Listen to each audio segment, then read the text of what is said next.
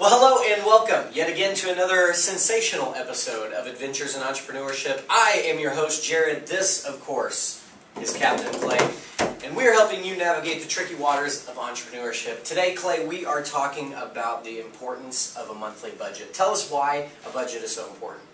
Well, um, having a budget is just massively important because it should keep you in check financially at all times so that you never wake up and go, oh my gosh, what is this bill? If you're watching this and you've ever said that, oh man, what happened? It's probably because you're doing some automatic withdrawals on your checking account, you know? Don't do that. Don't do automatic withdrawals. Don't do automatic billing if at all possible, because you want to know what your bills are. You don't want to get, you know, just hit. A, you want to get a bill for something that you're unaware of. Um, you you want to decide right now what you need to do to get ahead. And I'm going to give you an example from my wife and I from our budget when we started the business, because this might help you out there. Um, at the time, we lived at the Fountain Crest Apartments at 71st and Lewis. Lewis. Anybody here has ever lived there? Big shout out to you. Um, but anyway, we lived in a one-bedroom palace there, and that bad boy was $500 a month for this, this guy. Now, we made the decision, based on our budget at the time, that we would actually make our office and our bedroom the same thing. So there was actually no differentiation between the bedroom and the office. You know what I mean? So you could be walking into the office and it had kind of that romantic feel, or it could have kind of that office feel. Interesting. yeah.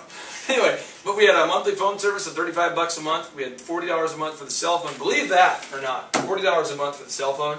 Back in the time when everyone had the minutes plans, and that was really, you know what I'm talking about? Some of you guys now have unlimited, but I'm talking about where you watch the minutes. If someone called you, you were upset.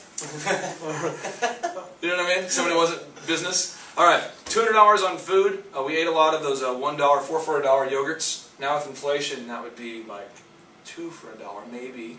Um, we uh, spent $200 a month on the food, $10 a month on entertainment. So what kind of entertainment do you think we did? I'm guessing a lot of dollar movies. Bam! Dollar movies, baby. That's five humans going twice, okay? But we didn't do that. We, just the two of us went five times. Okay. Then we had um, the uh, $125 a month for my Yellow Page ad. Notice we spent more on the Yellow Page ad than we spent on the phone service and on more on the, the, entertainment. And we go on and on the car insurance, and we had zero budget here for AC or heat. So we had no air conditioning or heat during that first year of marriage. Therefore, all the candles we got as wedding gifts, that all melted. But the point is, we actually saved money every month and got ahead until we were able to grow the business. And I promise you, if we didn't have no AC and we didn't live on the $10 a month entertainment budget, then we would probably not be filming this incredible show that's changing your life. Wow. Wow. Um, I did not know that about you. That is incredible that you had no heat or AC. Yeah, people would come. We had a cat too. So people would come in and they'd go, "I don't know if it's if the stink is you or the cat, uh, you know, excrement that's been heated." Holy cow! That's no holy cat. Oh gosh. True. Oh man, you talk about in this chapter how entrepreneurship needs rocket fuel. Yeah. Go on. Uh, tell us a little bit about that. Well, this is the entrepreneurship here. This is kind of the indicative of the voyage. But if you were on a real entrepreneurship, it looked like this. And then what we'd be doing is we'd say, and you know, Houston, prepare for liftoff. And to get this dude off the ground, you've got to do some serious fueling of this vehicle. Jet fuel is not cheap. I don't know if you ever bought any jet fuel, but it's not cheap. So what you want to do is you have to know when you start your business, assuming it's an auto detailing business, you might have five or six thousand dollars on initial infrastructure to get this baby going. Because once you're up in the air, now you're doing some big stuff. But if you're down here, it takes for you know it's a lot of lot more fuel to get off the ground initially. Once you're in orbit, you're just making money up here. But you got to get up there. And so you have to be able to put the funds aside to fuel your business when you start. And the best way to do that, in my opinion, is to live crazy cheap at first. So, if, you're, if, you're, a teacher, if you're a fireman, you're a uh, IT consultant, and you're wanting to maybe start your own business on the side, live on the cheap ski. Move into a one-bedroom apartment, turn off the AC, maybe live in your car, get a gym membership, shower there, something like that. Whatever. But you need to make sure that you cut. Well, you laugh at that idea. What I said was that you, if you if you move out of your house, you live in your car, you can get a gym membership for thirty five a month, and you're taking a shower. You look clean. People don't know you live in your car, but you do. Interesting. Yeah. Uh, um, you talk about living eccentric, eccentrically. Yeah. And what does that not mean? Well, the idea about living eccentrically is that like if you're eccentric, then you should then you're outside of the normal. Centric is normal. And if you think about it right now, the average American, think about it, maybe this is you. The average American, USA Today does studies on this, apparently spends more than they make. Therefore, if you're watching this, you probably have credit card debt. I don't. You probably do. Most people do. I don't. Most successful entrepreneurs don't. But most people watching this probably do. So if you want to switch over here to this side of the table, which I want you to do, you're going to have to start living separately than everybody else. So you're going to have to not ever consider getting a car payment again. So you go, that's not possible. Well, my first vehicle was a $1,500 Ford Escort that I hand painted, but it was cash. No car payments. Never had a car payment. So not having a car payment is huge. That's living eccentrically. Um, not having cable, that's eccentric. Uh, not having AC, that's eccentric. Whatever you have to do to get away from the mediocrity that is the middle, to get ahead, that's what you're going to have to do. Wow. So how would you say that the American family has their budgeting and their priorities wrong?